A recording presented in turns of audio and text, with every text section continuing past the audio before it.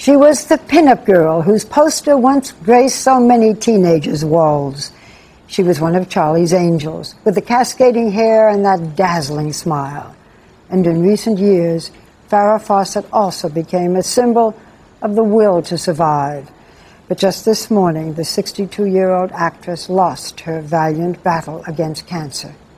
Farrah Fawcett and I had been in touch for many years personally. Professionally, we'd done some wonderful interviews together. Last week, as she struggled to hold on, I went to Los Angeles to talk with some of the people closest to her, including her longtime lover, who was at her side when she died, actor Ryan O'Neal.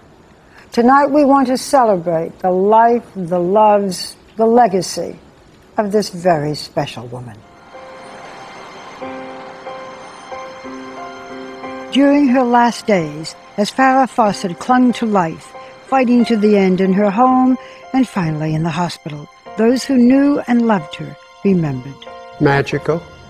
She had stardust on her. An original. No one looks like her, sounds like her. Sexy, beautiful, I mean, incredible. She's always been a style icon, obviously imitated by everybody around the world. I've always thought of her as fearless. Nothing seems to scare her. She's quite decisive, moves forward, and she doesn't look back and she doesn't regret. Courageous. An amazing woman with simple roots that took on challenges that others wouldn't try. I always admire women that are independent, that have a dream, and then look as good as she does. Cancer took Farrah Fawcett's life, but not our enduring memory of her iconic beauty, grit, and courage. I don't want to just go through life skimming it and being another person on screen and not living. And what a life she lived. It was, most agree, a spirited journey, and tonight one to be celebrated. The year was 1976, and this poster launched a million fantasies. She was the pinup with the brilliant smile, a mane of golden hair, and that bombshell body. It sold a staggering 12 million copies, the largest ever.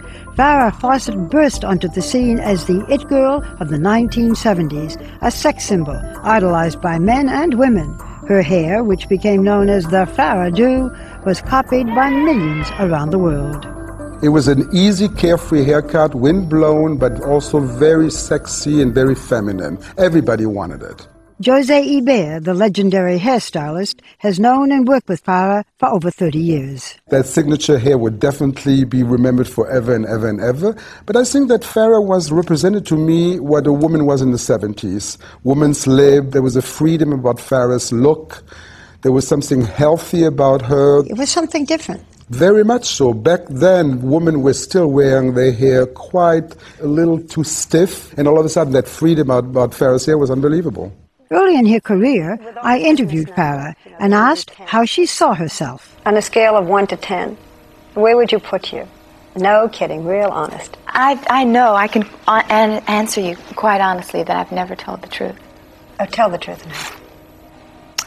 A nine. Yeah. Why, uh, you know, I would, well, look around the world. My Lord, you're you're an, you're a 10, you're an 11. You're, No, no. Well, mine's pretty- Barely a nine. I was going to say eight and a half, but I thought fractions aren't good.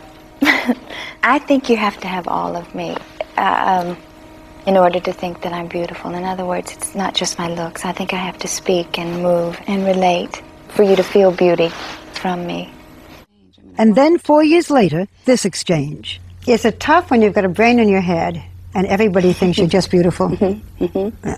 It is. It's annoying. It makes you uh, oh, exasperated. Yeah, I think it's a little bit of a curse. Growing up in Texas, that so-called curse was always there. In 1969, it was her ticket to Hollywood, when as a college beauty queen, Farrah was discovered in this photograph by a talent scout. At first, she was one more model and actress, surviving on guest parts and commercials, selling everything from shampoo to toothpaste. Mother always told me, sit up straight, eat all your vegetables, and stay out of small foreign cars. But Joey, Mother never told me about ultraviolet. Uh, uh, uh, you promised to teach me to play tennis. One of her first television appearances was on I Dream of Jeannie. Here we have a nice forehand And here we have a nice backhand, then we have nice both hands like that. On the courts, Tiger. In 1973, she married actor Lee Majors, then starring in The Six Million Dollar Man. Three years later, everything changed. It was 1976. She put on that red one-piece bathing suit, sold all those posters, and then she changed television forever. Good morning, angels. Morning, Charlie. Charlie's Angels, the undercover, underclothed crime fighters became an enormous hit and a cultural phenomenon. Charlie's Angels changed the way a lot of people looked at women. What we had for the first time were women operating in what was heretofore a man's world. Leonard Goldberg, along with his partner, producer Aaron Spelling, created Charlie's Angels. She wasn't a great actress then, but she was learning. She just had that way about her. When she would turn and look at you, you were mesmerized. The poster girl was now a TV star. She and her fellow angels, Jaclyn Smith and Kate Jackson, adorned nearly every magazine cover. If I could squeeze a gold watch out of Charlie, now would be the perfect time to retire. But after only one year, Farrah walked away from it at the height of her fame. After Farrah was a star, she left the show. Why? It was a shock. We were never able to pin it down because each time she came up with a reason, we solved the reason, but she still didn't want to come back. When Farrah makes up her mind to do something, uh, it's well thought out, it's well ordered and planned, and it's right for her. Jaclyn Smith has known Farrah since their Charlie's Angels days. Today, Jaclyn is a successful businesswoman selling her own line of clothing and furniture.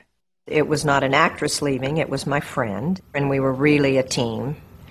But what do you say? You know, stay back and keep us company when you want to go? So it is a mystery to you to this day exactly why Farrah, after one year, left Charlie's Angels. Yes. And the impact she had in that one year was amazing. When you talk to people, they go, Well, Farrah did the whole show. And you go, No, she only did one year. People can't believe she only did one year. The press said Hollywood success had gone to her head. In 1980, I asked her if it had. Was it a mistake? Would you do it all over again? Was it a mistake mm-hmm. leaving? No, it wasn't a mistake. And yes, I would do it over again. You would, even Yes. with all this mess and the fact that it almost torpedoed your career. I felt that I, I needed to grow. I find that for me personally, and this is in everyday life, if I'm not growing, if I can't be stimulated in a conversation, then I am bored. and uh, I'm not good when I'm bored. You tried to make her stay. Oh, absolutely. We tried to make her stay. She wanted a movie career. Of course, she couldn't work for a long time because we had a contract and no one would hire her while she was under contract to us. Anger and lawsuits followed her departure. Her career faltered, but Farrah was determined to take charge of her life. So she fired her manager and her publicist, and she separated from Lee Majors. The sweet blonde from Texas, she told me in 1980, was gone. I think that when you're, you're kind of just shoved out there and you have to be tough and you're facing tough people and people are saying bad things about you, that all of a sudden you have to become a little less sweet. And with this surge in strength, you, you lose a little of the softness, I guess. Farrah told me she was tired of being the sex symbol, and she wanted to be taken seriously. I came into a town one way. I became successful before I was ready for it or knew what I was doing, you know, um, kind of backwards, you know. The success came before I had done what I thought was a, a good role. What was the toughest part? Convincing people that you were serious, trying to get the parts, what? Mhm, Trying to get a good role. And she did, by doing an about face, literally. Her glamour gone, her acting amazing. As an unrecognizable abused wife who was driven to kill her husband in 1984's The Burning Bed. For years, it would remain one of the most highly rated TV movies in history. School, school, school!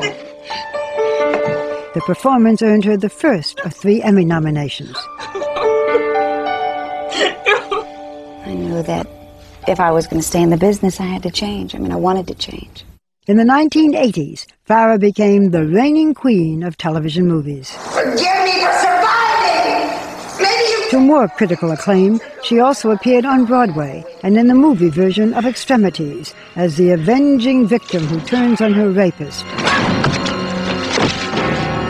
But if her acting career was finally the triumph she always knew it could be, her personal life wasn't.